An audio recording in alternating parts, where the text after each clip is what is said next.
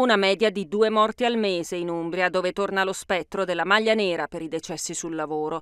Il fenomeno sta assumendo già da ora i contorni di un 2023 orribile per la sicurezza. Dieci vittime in appena cinque mesi. Nello stesso arco di tempo del 2022 le vittime erano state tre. L'ultimo decesso sul lavoro in ordine di tempo è quello del 31 maggio a Montefalco, dove un operaio edile è precipitato da un'impalcatura.